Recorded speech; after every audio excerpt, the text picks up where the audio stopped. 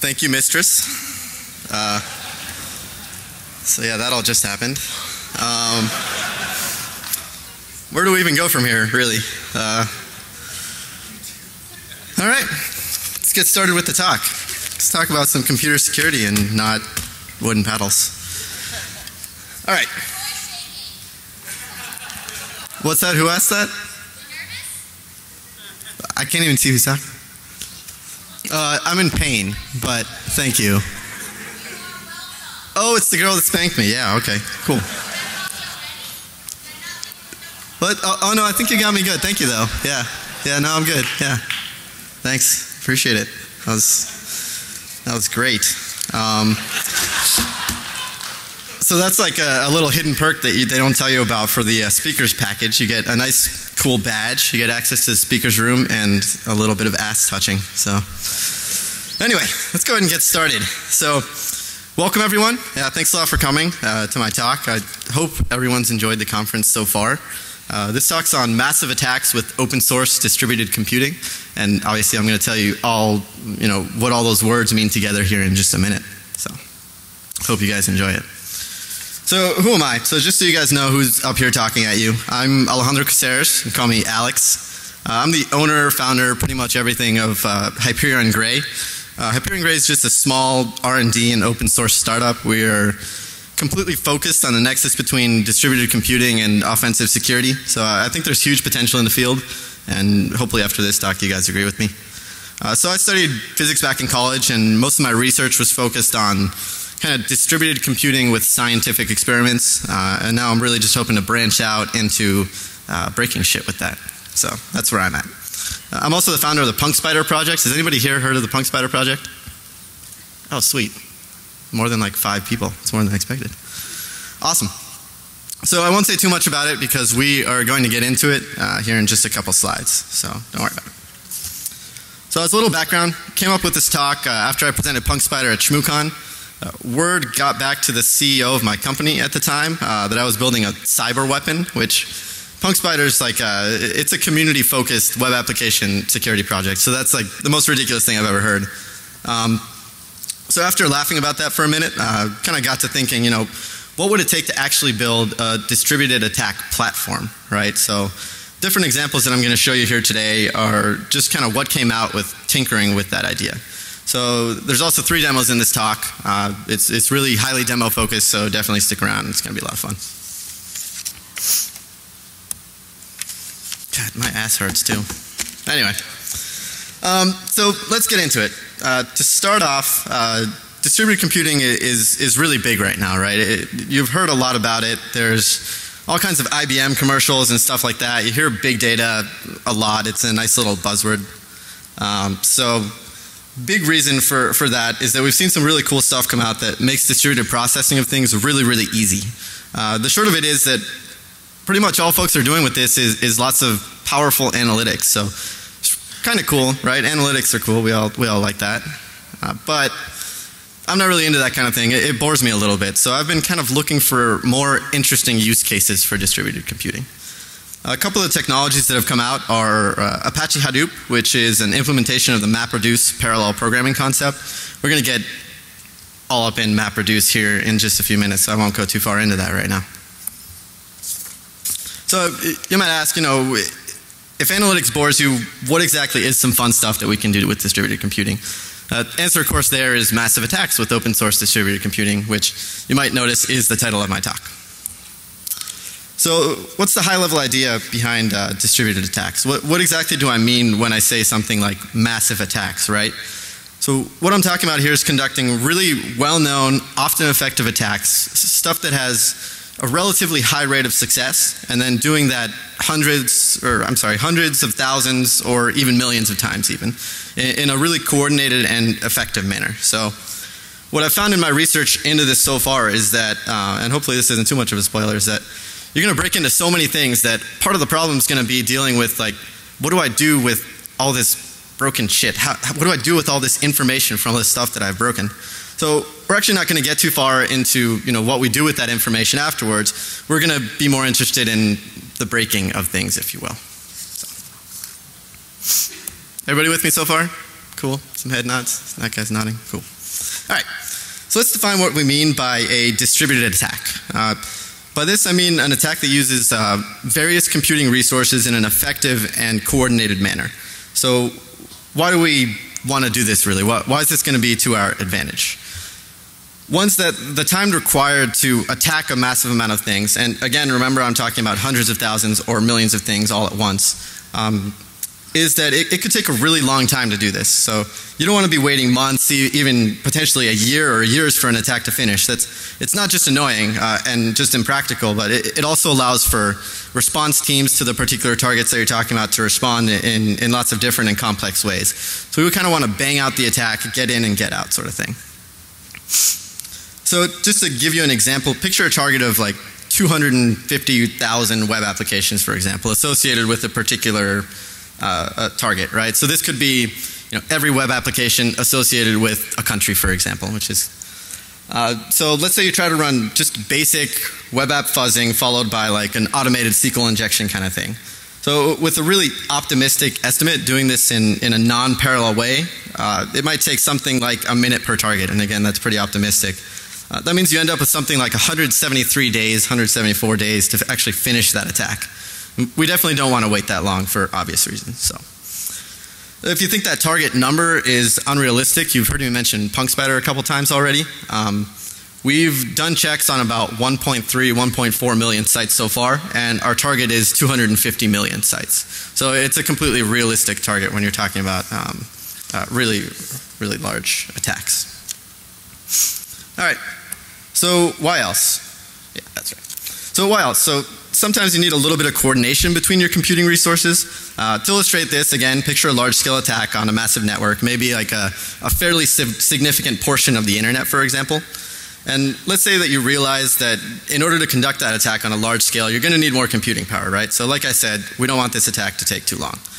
So in a non-coordinated manner, maybe you spin up some cloud servers, something like that, and, and you kind of just start a bunch of attacks, sort of in a dumb way, just how you'd expect. Maybe you uh, have a little script that, that runs and executes the, the, a few shell commands on, on each machine, for example. So you start running into a whole bunch of problems with that, right? If, if anybody's ever tried an attack like that, uh, you know this. So you might want to know like when an attack has actually finished on one of those nodes, right? So once a node has finished its part in the attack, you, you've just freed up some computing resources. And in order to make your attack as efficient as possible, you're going to want to be able to run more stuff on that node.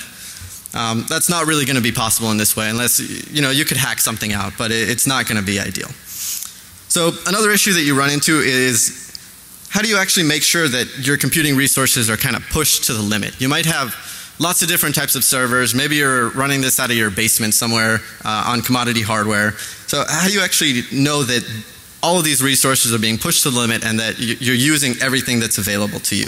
Uh, you can hack out some kind of threading code, something that monitors the resources on a particular machine and, and ensures that it's using all of them at once. But again, that's not going to be ideal or you're going to spend a significant amount of time on that. And, and we want to be able to do this relatively easily.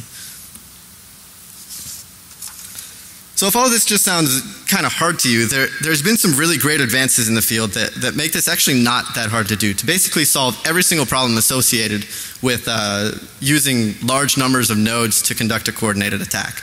Um, I'm going to get into talking about some of these and then move right into the three examples and three demos that I talked to you about. So for the most part, we're going to be talking about one of the best and most popular tools out there for distributed computing, which is uh, Apache Hadoop. How many of you guys are familiar with Hadoop and know everything around it already? That's way more than I expected.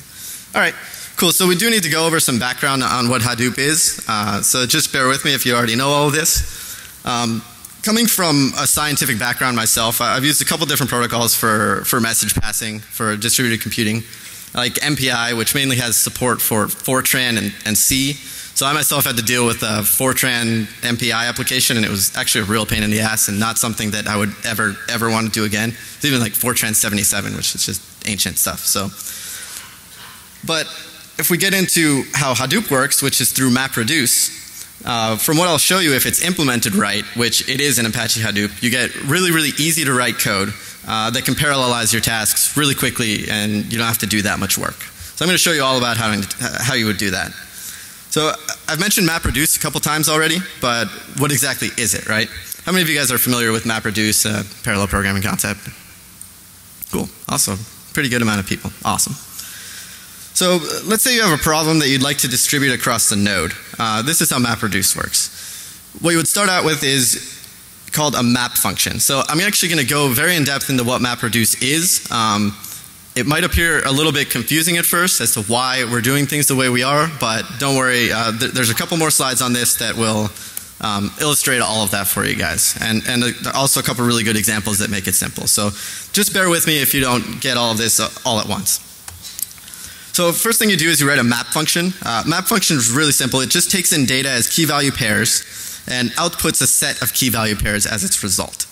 So map function's written in such that it's a single operation on a single key, key value pair for you. So as the person writing it, you're just writing this for one input at a time. You don't have to worry about all that massive amount of data. You're writing it for one input record at a time only.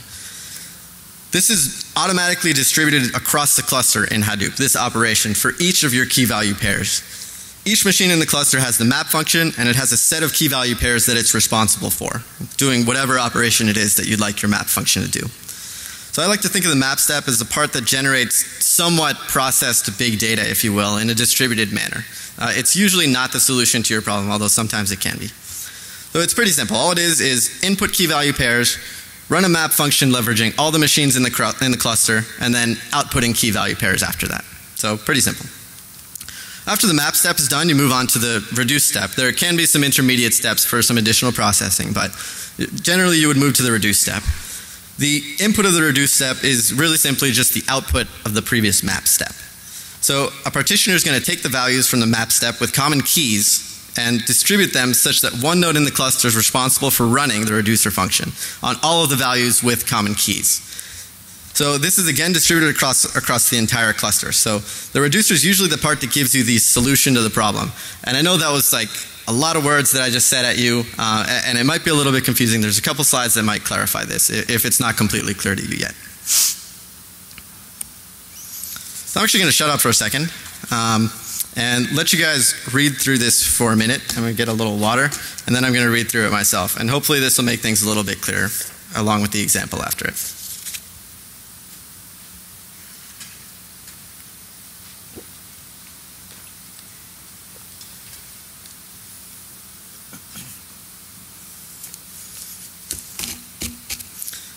Right, so hopefully that was long enough, maybe not. But here's all that's happening, just in summary of what MapReduce is. You have key sub 1, value sub 1, inputs to a mapper function, right? The map function is distributed across the cluster, yields a list of results as a key. So that can be, you know, something like key sub 2, value sub 2, key sub 2, value sub 3, key sub 2, value sub 4, and so on and so forth for each key value pair. Uh, all the values with the same key, key sub 2, are logically grouped together. And a reducer function would then be applied to this group in parallel uh, so that uh, for each group and then yield something in return. So these would usually be what we would call our results. So a common question when you're kind of first dealing with MapReduce is, well, wh why do we do it that way? What's the use of, of having the uh, values with the same key grouped together? Uh, and I'm going to show you exactly why we do that here in just a minute, just in the next slide. So a few things to keep in mind. Uh, once you write a mapper and a reducer, uh, Hadoop's going to distribute it to the remote nodes and, and, slaves automatically. So you don't actually have to deal with anything that's actually distributing things and dealing with when things happen or where things happen or why things happen in those places that they do happen. So Hadoop takes care of a, a lot of really important parts of distributed computing. Um, things like, like I mentioned, automated partitioning to remote nodes, uh, automated assurance that the job's going to get done. So if, for example, uh, you, uh, you have a node that goes down, uh, Hadoop just very seamlessly sends it to another node and it's able to, to detect that. It actually takes it a step further from um, dealing with nodes that go down to actually expecting that nodes will go down. So you can run it on really shitty hardware, I do all the time, uh, and, and get really solid results from it. So what else? There's also a few configurations items that, that you can set in Hadoop that are really useful. So I mentioned before that you want to be able to push your resources to their absolute limit, right? You can do that very easily with Hadoop in just a couple lines of configuration. You don't have to deal with you know, going to each of your nodes and figuring out some kind of code to make sure your resources are all being pushed to their limit, Hadoop will actually do pretty much all of that for you with just a couple of configuration items. It's really cool.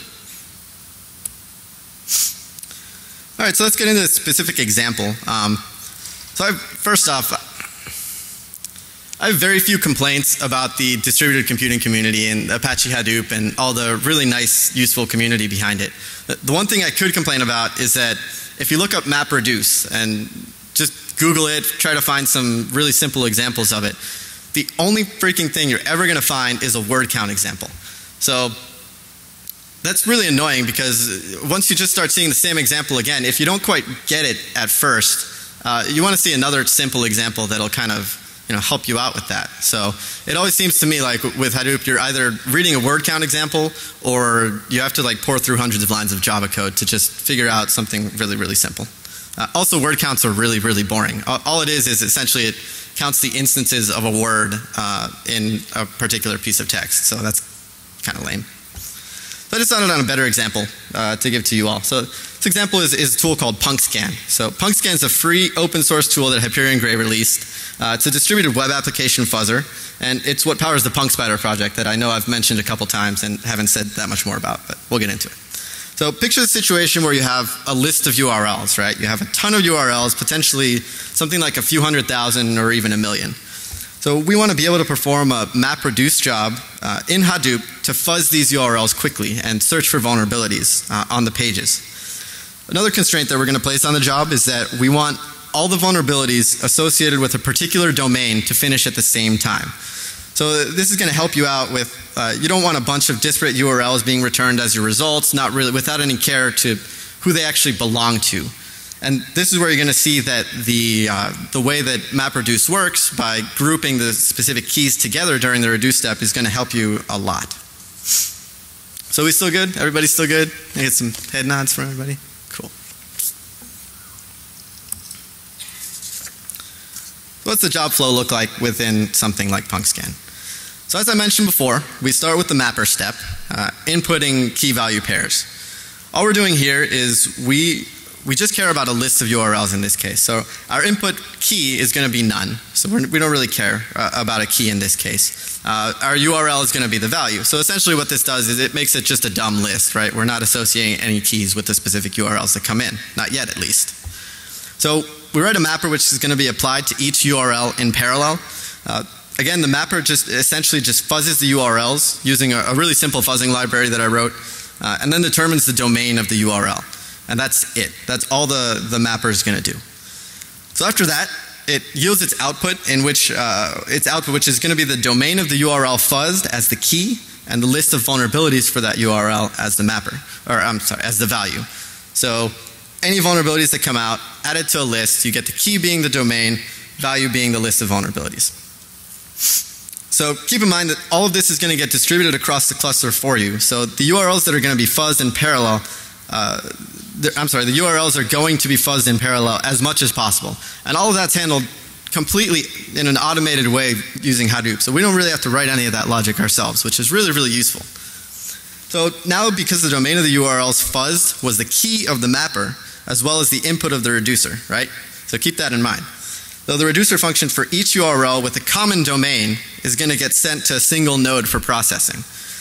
So the reducer is going to run in parallel for each group of URLs with a common domain. And all of that, of course, is going to get distributed across the cluster as well.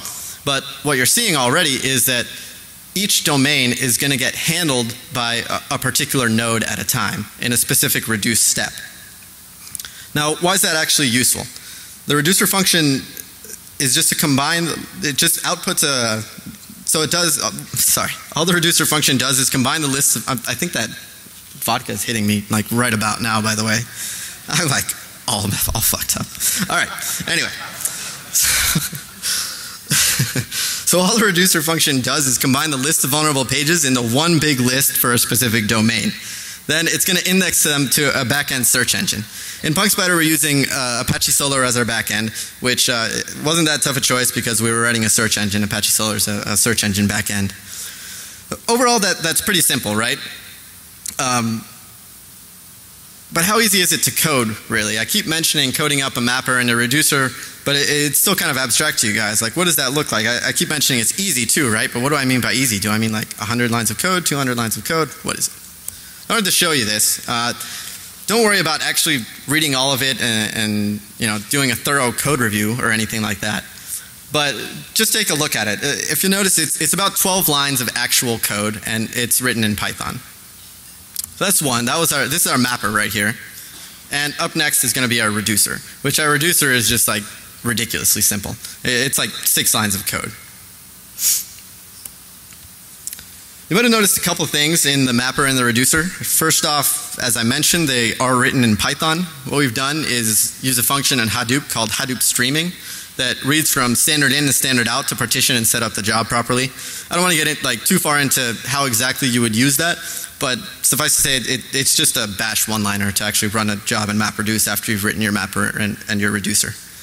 So if you're the kind of person that really wants like nitty gritty details on how to run all this stuff, how to write mappers, reducers properly, specific to offensive security, uh, follow me on Twitter. I'll be giving you all those handles in a bit, or our blog where we're going to be posting all this shit really in detail. So if you want all of that, definitely uh, keep in touch. Another thing I wanted to point out is that the mapper and the reducer that I showed you are really the only part of PunkScan that's distributed computing focused, right? So in other words, if, if you were to actually download PunkScan, which you can off of Bitbucket, you, you notice that most of it is actually pretty standard stuff, right? You're, we're not doing anything too crazy to distribute this, uh, this code. Essentially, it's, it's a, you know, a standard fuzzing library that I've written, some solar indexing stuff, some other you know, fairly simple things. Uh, but then you see also a, a, mapper and reducer, which again is the only part of it that's really distributed computing focused. So what I'm really trying to get at here is that there's nothing really too mysterious about writing your own distributed computing focused code. It's, it's all, if you understand the base concepts, you're, you're really going to be able to write distributed attack code relatively easily. This guy's falling asleep, by the way, and that's killing me. Um, so hopefully that'll prevent that from happening. What's that? Drink me or him? Up.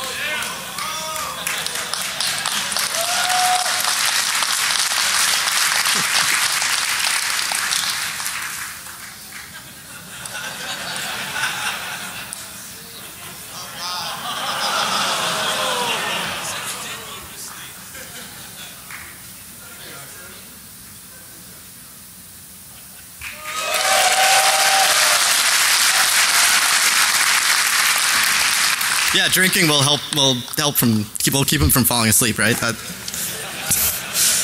great idea. all right, so demo time. I keep mentioning that this talk has a bunch of demos, but all I've been doing is, is talking at you, so we need to stop that. All right, so first off, first demo I'm going to show you. This is Punk Spider. Um, obviously, first thing we want to do here is uh, read the banner. So we're providing a lot of vulnerability information on a bunch of sites that we don't own. Um, so this banner is really important and, and I do take it pretty seriously. Uh, the goal is to provide free information to website users and owners regarding website security status. So that means if you go on this site and look for vulnerabilities, what I'm really hoping for it to be used with is uh, if you're a site owner or a site user, uh, you want to know the vulnerability state of that site, right? So if you're out there giving your credit card number or uh, any kind of personal information, you want to make sure that that's not being leaked all over the place. So that's really what this site is being used for. Um, don't, don't be a dick. Yeah. So a couple things you can see here. Can everybody see that okay? Does that come out all right over there? Perfect. So a couple things we can do here. Um, we can search by a particular URL or by the title of a site. So we're just going to go ahead and search by a URL. Down here is where you specify the uh, specific vulnerabilities that you'd like the sites to have that you're searching for, right? So we're going to go ahead and check all of them. Uh, and this changes it from an AND or an OR query. So we're going to say basically any site with the search term that I type in with any type, any of these types of vulnerabilities. And these are blind SQL, SQL, and, and cross-site scripting vulnerabilities. Google.com. Actually, I'm going to do you one better. Uh, we're going to search for every single site that has vulnerabilities in it. So you can, it supports wildcard characters, so you can just go in, type a little star, and you get absolutely every site that's in the database, and it's going to be dumped back to you. Uh, it'll take it just a second to search because that's actually a large query right there, but not too long. So if we scroll down, you start seeing sites that are uh, essentially a mess, right? These are vulnerable sites that if you were a user giving your personal information to any of these sites, you'd be pretty pissed off, right? Let's scroll down to the bottom. We actually see the number of pages of vulnerable sites is 6,166. Just to be clear on this, uh, a lot of articles on PunkSPIDER got this wrong uh, after we presented it at ShmooCon. But this is 6,166 pages of vulnerable domains. So within each domain, we can have several vulnerable um, websites and vulnerable pages. Uh, we have 10 domains per page, so that's 61,660 uh, vulnerable domains. And within each domain, if we go ahead and expand it, um, searching for one with more than one, within each page for each domain, we have several vulnerabilities. Anyway, long story short, what I'm trying to get at is there's a lot more vulnerabilities in here than 6,166. It's right up at about 300,000 or so so far. And this was all made, uh, made possible by using PunkScan. So as I mentioned, PunkScan is what powers this on the back end and making it distributed over actually a relatively small Hadoop cluster and pushing our resources really, really hard is what allowed us to get this level of data.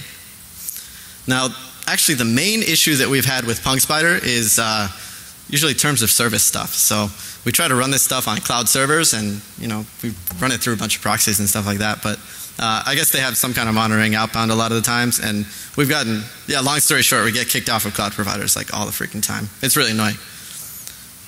Does anybody work for a cloud provider here, by the way? Anybody? That guy back there? Which one? I love Rackspace. All right. Um, actually, I won't say too much more because uh, we have cloud providers here, but anyway. Um, wanted to get down to actually showing you a specific record. You can actually sort of see, sort of picture the MapReduce job running here if, if you look at one of these specific records, right? We're looking at ajaxa.cn. I have no idea what this site is or what they do. Uh, something with Ajax maybe, I don't know. Uh, so you can actually see the parameters, uh, you can actually see us attempting to inject into parameters and then reading the output. Uh, so here you see that this one's looking for, let me zoom in a little bit more.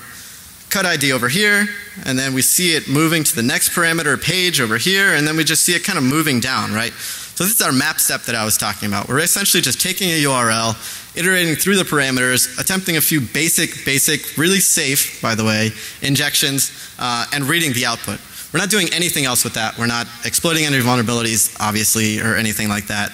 Uh, we're just providing this back to the user in order to be used for uh, uh good things and not bad things. Somebody's laughing over there for some reason. Um, anyway, so that's PunkSPIDER. And what made all of this possible, uh, what, what allowed us to basically target the entire internet is to distribute this job, right? This actually would not have been possible. I mean, we'd probably have like 10,000 sites done here if we hadn't been distributing this and, and using Hadoop to help us push our resources as well as coordinate all this stuff in, a really simple manner. So that's PunkSPIDER.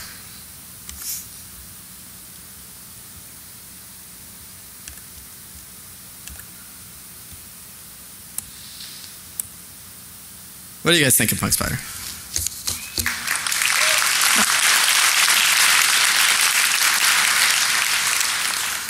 Thank you guys.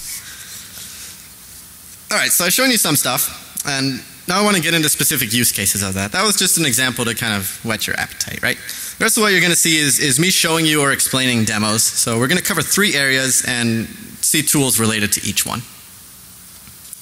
So one is, one is distributed recon. Uh, the best example of this is actually PunkScan, which I've already talked about. So I'm going to run through this really, really quickly. Um, essentially, you just want to greatly speed up repetitive tasks, right?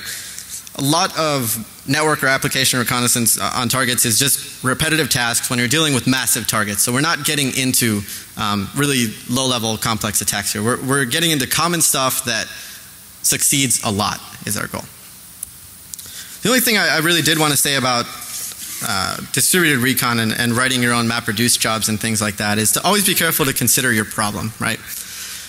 Are you in need of CPU, memory, bandwidth? What exactly is it that you're trying to solve?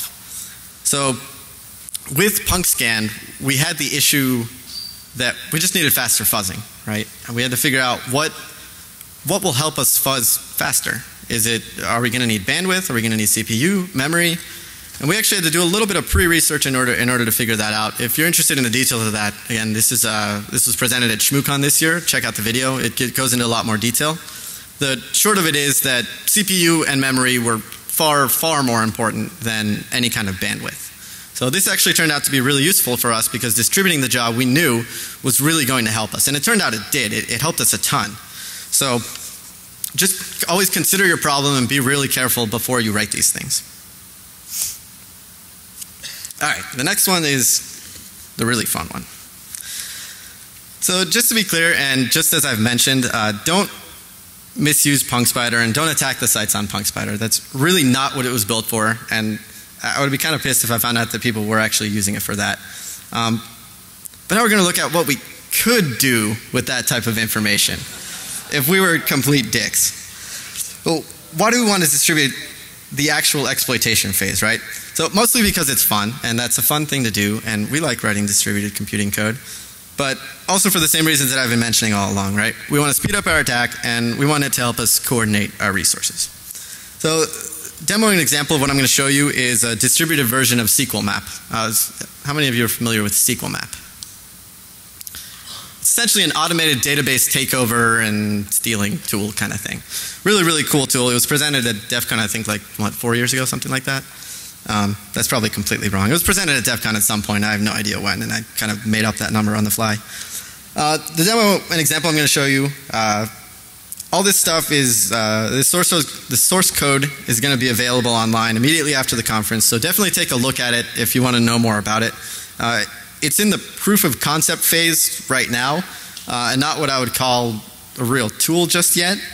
But if you're coming to DerbyCon, uh, I am going to be presenting on a really refined version of this that you can actually use and, and has a lot more features than what it has currently. So by the way, the name of the tool is called Mr. Injector. So the reason for this is MR equals MapReduce, right? So injector because shit, obviously. So MR injector in my head turned into Mr. Injector, um, which I think is kind of funny. Like literally nobody else has ever thought that that was a funny name for anything, but that's kind of just how I work. And also in my head, like I, I picture it as like a cross between like Mr. Donut and Mr. Peanut, and it just it gets amazing for me. But nobody else really thinks that that's entertaining in any way. So we're just to move on. So let me set the stage for you here. Uh, this is the next demo. Uh, the screen you're seeing is divided into two parts, right? So the left hand side is SQL map owning targets in a non-distributed manner. This is written kind of just how you would expect it, right? You, you have a, a simple Python or shell script uh, that runs SQL map on targets in a row. So you just kind of go one after the other exactly how you would script it if you didn't want to spend too much time on it, right? Right hand side uses distributed computing through a Hadoop cluster to conduct the attack. So this is a real attack running on a test bed of servers. So even though it's a test bed of servers, this is an actual attack that we conducted. And what you're going to see is a series of, you're going to see those shells run, but you don't have to read that too much. Under them, you're going to see little red squares pop up each time a target has been owned. By owned, I mean that we're actually stealing the system hashes. So take a look, and what I really want you to pay attention to is the rate at which these things attack. It'll actually be pretty obvious what I want you to look for. But uh, again, this is not a simulation. Uh, we we didn't just you know do a bunch of calculations to see if this would work. We we actually ran this attack and and uh, recorded it to show to you guys. We're also kind of jumping in uh, uh, in the middle of the attack. Uh, the whole thing was just barely too long to make it a good demo, but important thing is the rate that you're seeing here.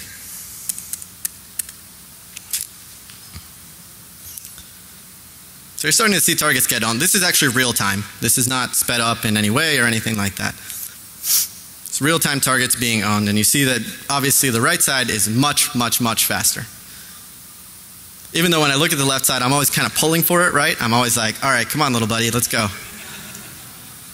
Come on. Hey, hey, there's another one. All right. One point. And it'll continue to run. And I'm going to sort of stand here awkwardly while I let that run. And uh, feeling that alcohol even more now.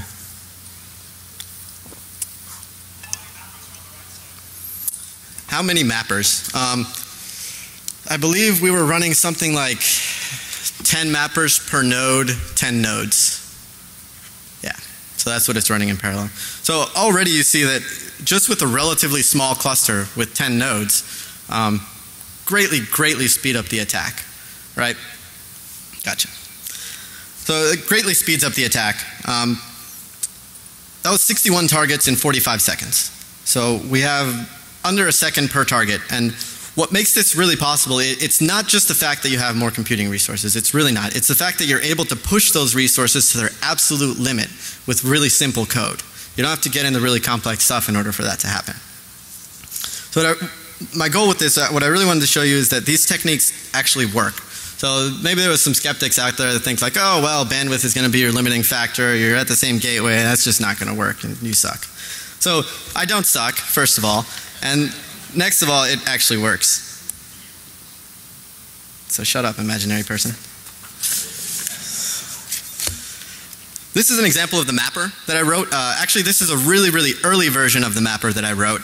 It's uh, it's really simple, right? It, it's Python code all we're doing is we're running a, a simple like subprocess.popen which just runs a shell command uh, and replacing the URL with whatever input that we have, right? Really, really simple code. And this actually works. If you were to run this mapper through Hadoop streaming, it would actually work. Now, the, what we've done is we've gone back and, and refined it a little bit with uh, the help of my friend Mark, who's right there in the red shirt. Um, we've refined that a good amount, but this code actually works and runs really, really well. So as you can see, that's what, like, I mean, this is like 10 lines or something like that. Really, really simple.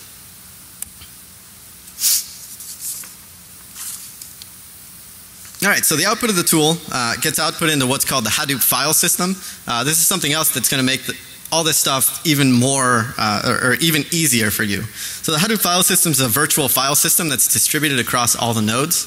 It's fully accessible on absolutely any node that you have out there. So you don't have to worry about um, what node you're on in order to retrieve the output. You can actually be on any one of your distributed nodes and just grab it from anywhere and you have that information just right at your disposal for whatever it is that you're into uh, with, with that information. So uh, really, really convenient. So what do we end up with, right? We end up with a bunch of password hashes and we need to do something with these, right? I mean, what else would we be here for?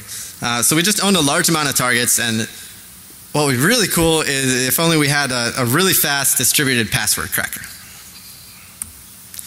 So I'm going to tell you about a really fast distributed password cracker that I wrote. Uh, we've conducted reconnaissance on a bunch of attacks, right? We've, we've exploited a massive number of targets and we've stolen a bunch of password hashes. So these hashes could take a long time to crack. Uh, maybe we're impatient. Uh, we want something that's pretty efficient, uh, not time intensive, um, not super expensive, and, and we don't want anything that uses any kind of specialized hardware, right? we don't want anything that, that we don't want to have to go out and buy a bunch of GPUs or something like that. We just want to be able to click a few things and crack some hashes, right? So you might notice in the previous examples, uh, I made the assumption that you can build or have access to enough machines to actually uh, run a Hadoop cluster. That's actually not that hard. Uh, for anybody that seems kind of intimidated by that stuff, that's I mean, that's really a, a, simple process. There's a bunch of guides out there. You can get a really decent one running with, you know, eight to ten nodes running like a couple hours. So it's really, really simple. But let's say that you're just really busy, you don't want to deal with all that. And, and what you want to do is you want to be able to click a few buttons and just have an instant cluster to use. So I'm going to show you how you can do that uh, and then uh, crack a password over the cluster uh, by using Hyperion Gray's custom built tool, which is called Punk Crack. So admittedly, this, this wasn't an extremely simple tool to write. Uh, the the job of actually uh, distributing this stuff was not trivial. It, you actually have to worry about how exactly you're going to partition this stuff. I mean, to me, when we started this, it was it seemed really simple, right? I mean, each uh, operation, you're just you know you're hashing a string and then comparing it to another hash. Uh, seems simple enough. It's easily parallelizable. I think that's the word. I don't know. Uh, and, and seems really easy to do. But what you run into is that Hadoop is expecting as its input a, a massive list of things, right? Uh, we don't really have that massive list in any usable way, right? If we were to try to just like compute all the hashes and then input a list from a file, that shit would crash right, for any reasonable password. Right, so it was a little bit complicated. We had to write our own little language that could represent a series of characters in order to distribute this job. Um, but yeah. So I think I'm actually getting close to the end here, but what I'm going to show you is spinning up a powerful cluster over Amazon's Elastic MapReduce service. Essentially, all this is is a point and click, spin up a Hadoop cluster, run this job, and get me on my way sort of thing. Really cool. Oh, and yeah, last thing. Uh, I know there's lots of ways to crack passwords. Uh, I'm not claiming this is the best way, the fastest way, the most efficient way, anything like that. I'm Just saying it's an option and something that you can have in your tool belt. Uh, if you don't mind spending some money for convenience uh, for a cracker, uh, this is a really good technique. So let me see. It's actually a really long video. There we go.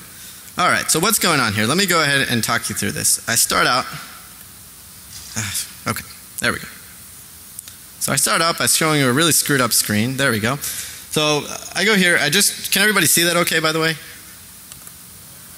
sort of. I'm going to walk you through it anyway. Don't worry about it. I'll, I'll walk you through it. It's okay. Full screen. How do you full screen Windows Media Player? This little thing. Yeah, that didn't help at all. Thanks, guys. That's the last time. That's the last time I listened to anybody at DEF CON ever for anything. So all I'm doing is I'm specifying a new what's called a job flow. This is essentially just uh, setting your your basic job configurations. Um, I copy a few things. All I'm doing is I'm telling it the location of the jar uh, and a few basic arguments on the jar. I wanted to skip forward. This is a really really freaking cool screen right? So what's going on here? I'm specifying my instance types and my instance numbers. So I'm telling it how large do I want this cluster to be. You see at the top the, is the master node. So I want an extra large machine for the master node, which is a pretty big machine on Amazon's EC2.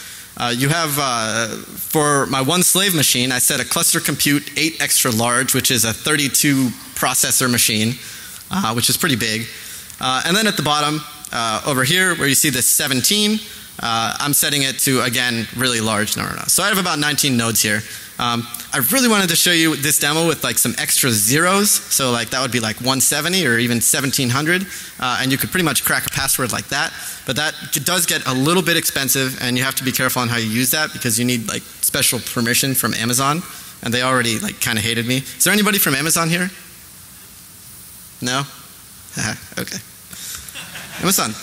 Yeah, they have some really powerful stuff and some really cool stuff, but uh, um, they hate me.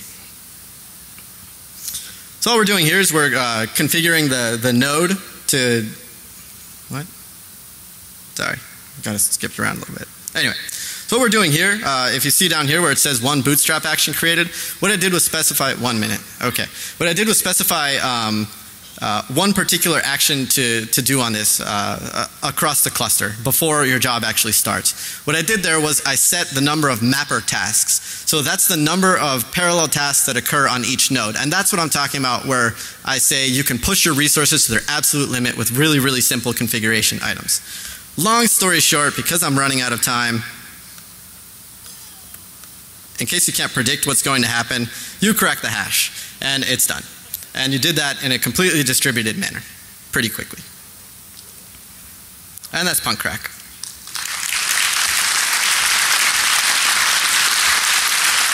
one last thing? I'm sorry, we need your time. Okay. All right. Anyway, hope you guys have enjoyed it. Uh, no, you can't finish yet. No, no. Oh. Leave it up.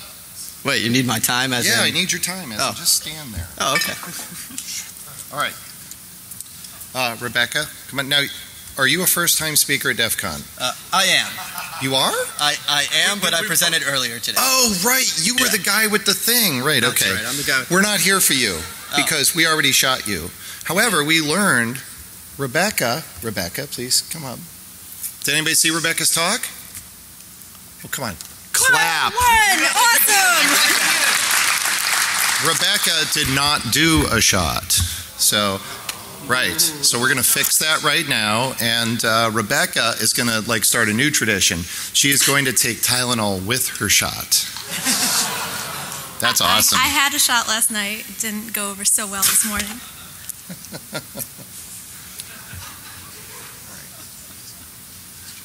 so ridiculous. this one's yours. Agent X is the voice of reason. You are you didn't get me. That's okay. Can I just click here? That's no. No. Don't touch it. You're not done yet. Two. Does Paul have one? Paul doesn't have one. All right, thank you. All right. Um, here's to Rebecca.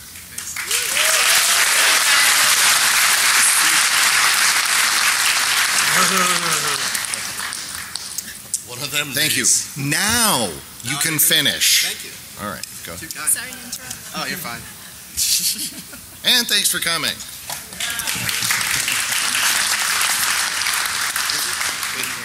It's like the fourth shot I've had to do today because of this whole thing. And we're out of time. God damn it. I'll give you another minute. We, Thanks, we, man. We hazed you enough. Thanks, I appreciate it. Yeah, that spanking was worth at least another minute. Anyway, so definitely enjoyed this whole thing. Uh, short of it is, distributed computing is, is awesome. When you need to run extremely, God, I'm freaking hammered at this point. Uh, when, when, when you need to run massive attacks, one more shot. Can I do another one and take another minute? Well, you got to pour two of them.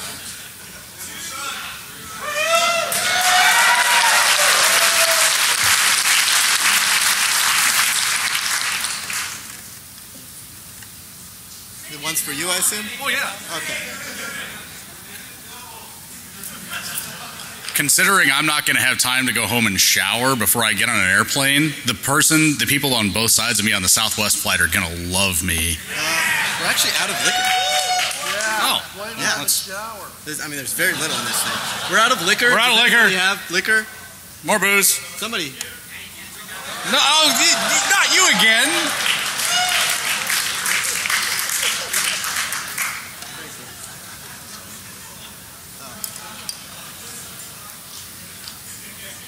This, I'm actually mis- mixing the vodka with the with the rum. This is disgusting. And I'm doing this for you. You're welcome. All right, cheers. Cheers.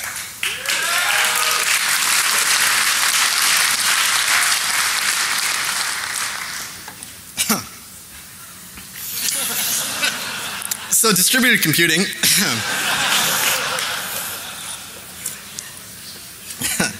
Shit. All right. So, where do you even go from here? I mean, what what do I even do? Where am I? Where am I? Um. So, def drink. Somebody say drink again. So, definitely enjoyed proving the concept uh, to you here. But what, what exactly does this mean for you, right? So.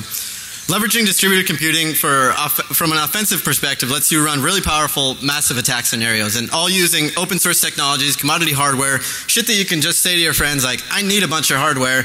Give me your old shit and, and run it on there." So really, really cool stuff. So imagine pen testing massive targets with this. We can't really do this in an extremely effective manner right now. So something like pen testing an entire freaking country would be awesome. So if anybody wants to hire me to do that, definitely down for it. So I, I really think that the security implications of, the, of this are, are broad. So if we can feasibly simulate a, a massive attack scenario, we can better study it and better prepare for it and, and see what exactly that's going to mean for, for massive targets like an entire country. So follow me on Twitter, uh, dot slash punk. I'll, I'll answer all your questions, uh, anything, almost anything at all. Definitely see, see more about us and, and check out some more details on the presentation at www.hyperiongray.com. Check out Punk Spider, check out our blog. Uh, I don't even know what that last one says. And thanks to everybody. Uh, Tomas, who's the dude, when, when I say we write this and we write that, it, it's usually Tomas. If it's not Tomas, it's Mark, which again is that guy right there. Thanks to uh, Amanda, my girlfriend, the Sequel Map Project, everybody involved with that, Apache Software Foundation, and all of you guys. Thanks a lot.